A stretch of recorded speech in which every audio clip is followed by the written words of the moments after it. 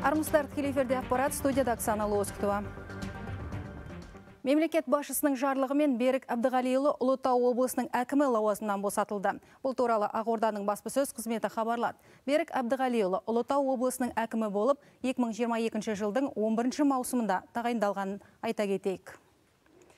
Ал президент жарлығымен Дастан Адайұлы Рыспеков Ұлытау облысының әкімі лауазымына тағайындалды.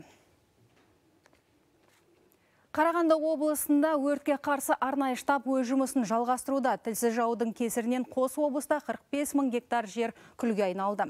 Қарағанды облысындағы меншікті тілшіміз Жандос Бақытұлы оқиға орнынан тікелей қосылуда. Жандос, өрттен келер қауіп сейілді ме?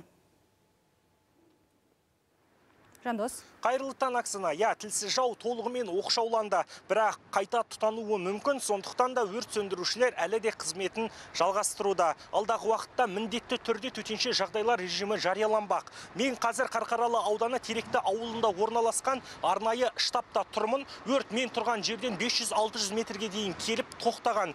Ә, қазір сол тілсіз жаумен алдыңғы шепте алысқан сол өрт сөндіруге ат салысқан өрт сөндірушілердің бірімен тілдесіп сұхбаттастық. Болған жайтты өз аузынан естісек. Жеке құрам үш күн бойы ұйқысыз жұмыс істеді. Өртке келген кезде әрбір адамда енді қорқыныш сезім болады. Елді мекенге өтіп кете ме немесе басқа да бір жергілікті тұрғындарға өзінің бір несін кесірін тигізе ме деген сондай бір қорқыныш үрей сезімдер болды. Дегенменен де енді салқынқандылықтың арқасында қазіргі таңда осындай жағдайға жетіп отырмыз. Өрт оқшауланып ауыздықталып отыр қазір елді мекендерге келер қауіп толығымен сейілді. Қазіргі таңда өрттің аумағын анықтау жұмыстары жүргізілуде. Мендегі бар ақпарат әзірге осы. Оксана сөз өзінде. Рахмет. Бүгін еліміздің барлық өңірінде дерлік дауылды ескерту жарияланды. Секундына 20 метрге дейін екпіндетіп жел тұрады. Соған байланысты өрт қаупі сақталады, ал кей аймақтарда жаңбыр жауып күн күрт суытады. Шығыс Қазақстан облысының шығыс бөлігінде түнде термометр бағаны минус 2 градусқа дейін төмендейді. Күндіз 14 градус нөлден жоғары. Ал Жетісу облысының таулы аймақтарында түнде минус 3 градусқа дейін суық болса, күндіз 18 градус жылы.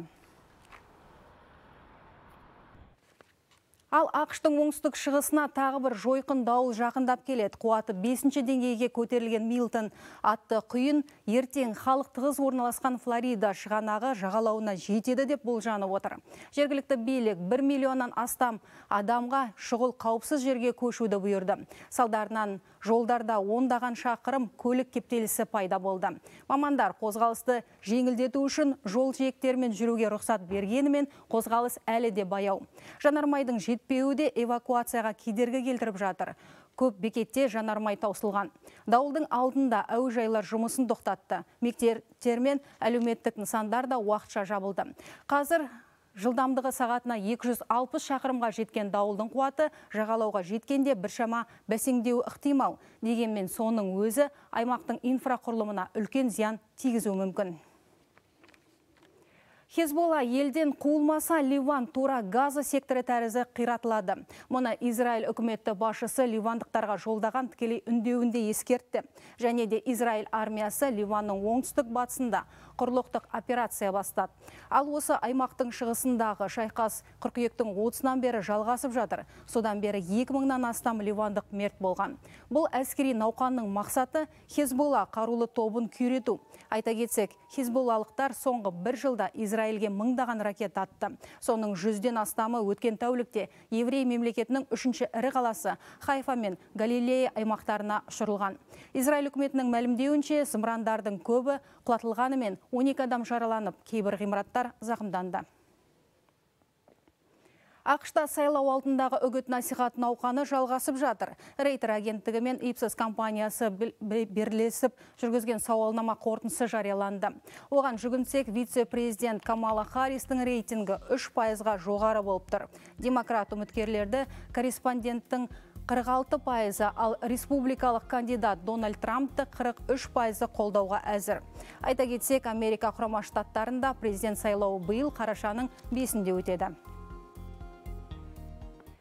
Конго Демократиялық Республикасында қаңтардан бері маймыл шешегін жұқтырғандар саны 30 мыңнан асып кеткен. Бұл Африка континентінде осы аурумен биылдыққа ауырғандардың 90 пайызы.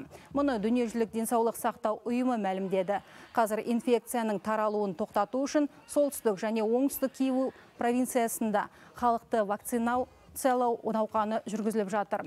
Сол үшін елге 265 мың дана екпе жеткізілген. Бірақ мұнша екпе аздық етіп отыр. Айта кетсек, тамызда осы індетке байланысты халықаралық деңгейде төтенше жағдай жарияланғаны белгілі.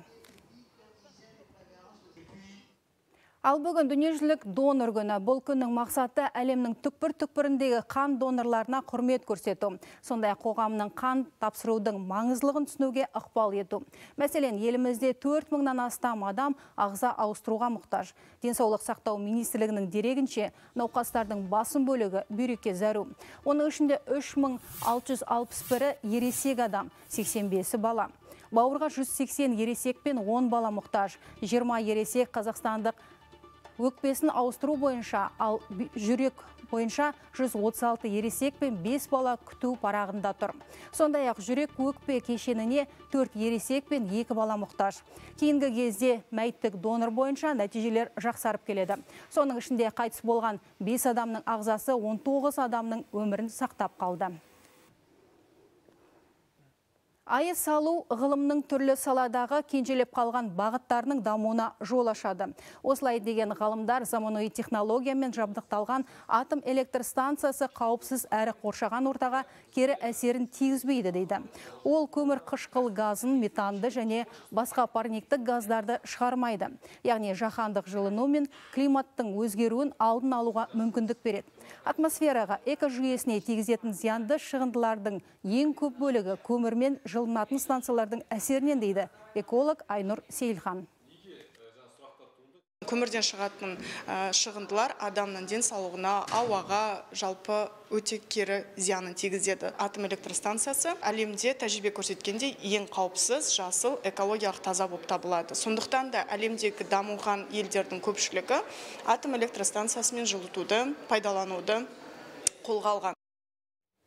Биыл жыл аяғына дейін 18 бен 27 жас аралығындағы 20 мыңнан астам жас әскер қатарына алынады.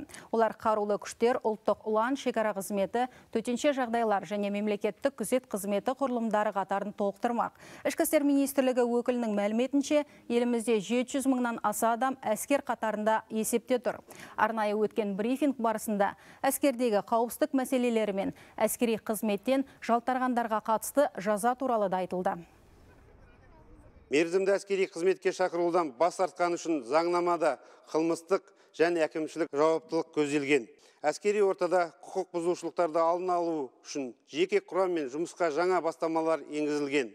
Барлық әскери бөлімдерде бейнебақылау жүйелері орнатылған. Тұрақты негізде социологиялық сауалнамалар жүргізіледі. Психологтар жұмыс істейді. Бұдан бөлек азаматтарды одан алдындағы борышын өтеуге ынталандырудың жаңа тетіктері талқыланды. Мысалы, әскерге шақырылғандарға білім беру саласында жеңілдіктер жасау, сондай ақ мерзімді әскери қызметке баратындар үшін кредиттік демалыс беру қарастырылған. Әзірге осы келесі ақпарат 14.00-де кездескенше.